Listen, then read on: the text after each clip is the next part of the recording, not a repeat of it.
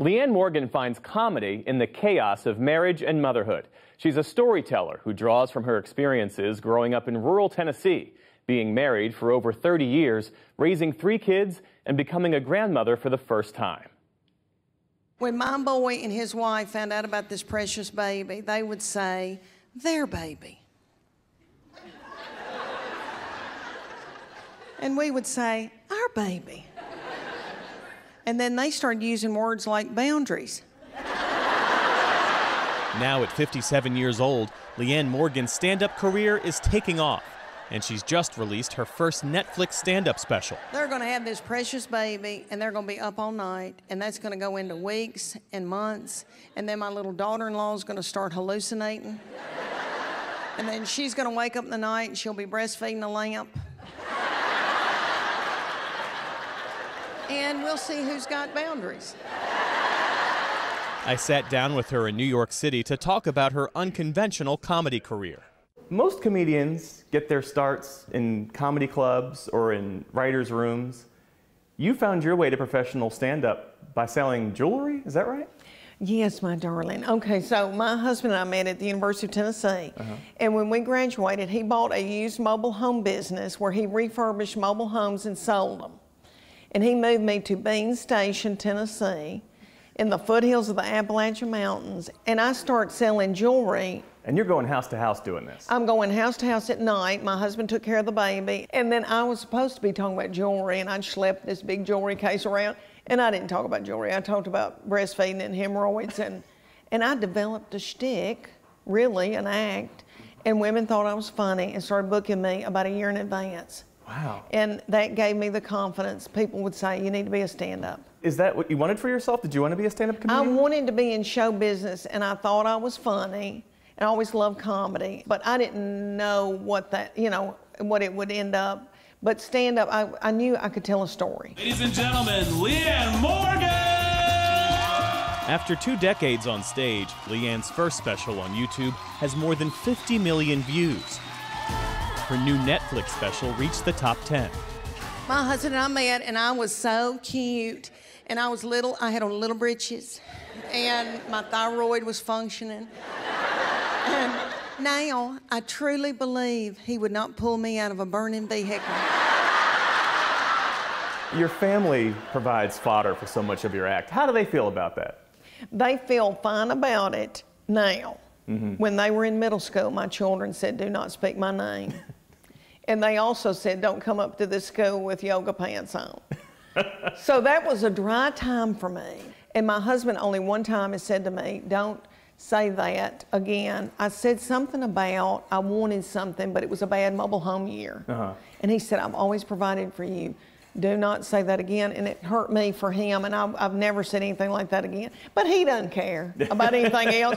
And in my twisted mind, I think, oh, I can lose 40 pounds in four weeks. Leanne's act is relatable and a reflection of her yeah. life. Comedy with a common touch. I've done every diet in the world. My mama and my sister and I took Dexatrim. Do y'all remember Dexatrim? Yeah, it was speed. We took speed as a family. They sold it on the shelves everywhere. We were all taking dope. I mean, that's, and that's funny how things resonate with people uh-huh. because uh-huh. I've had more comments of people saying, oh my gosh, my mom and I took Dex- uh, Dexatrim together. Yeah. My mama gave it to us, and I was this big around. You know, and I was raised on far, by farming people and out uh-huh. in the middle of, we knew where our beef was coming from. I was tiny and then taking diet pills on top of that. I would now, but I think my heart would flutter. Right, right. I'm out here on the porch and I'm looking rough.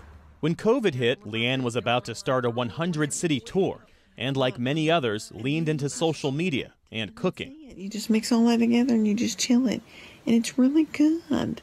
I started talking about my recipes and taking care of my little mom and daddy. They needed me, and what I was feeding them, and my family, and it grew more than I ever thought it would. So that was a helpful thing. As horrible as all that was, I think it helped grow my audience because yeah. people were at home and yeah, and it gave them a point of connection.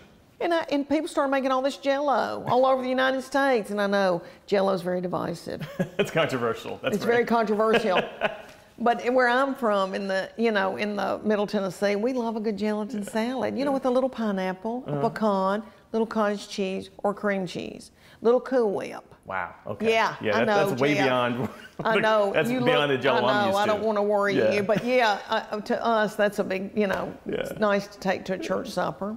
The thing I really loved about your act is that there's no underlying political or social message. It really is just about the laughs. It's about finding the funny moments in family and growing older. And I understand how people want to do that and, Mm-hmm. you know, do the comedy that way.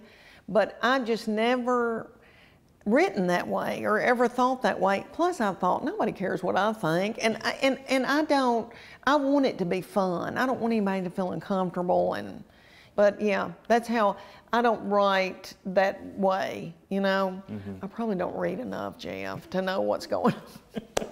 Leanne says this run of success could not have happened at a better time.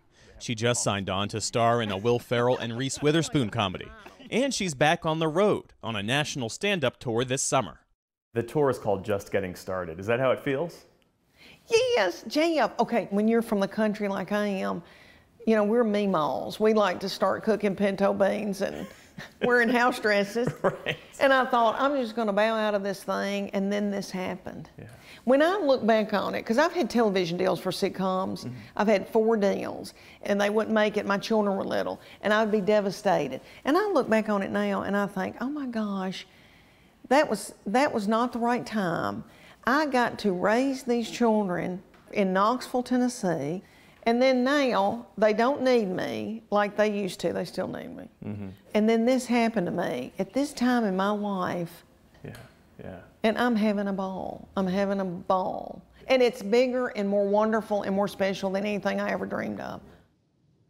I love that she says your name with two syllables. GF. Was that a trip? Were you just laughing the whole Isn't she the best? And I gotta say, as part of her tour, she sold out the Grand Ole Opry, which is a big deal for anybody, but certainly somebody from Tennessee. Good for her. Yeah, she's something else. And that interview was part of our arts and culture series, Canvas. Meantime,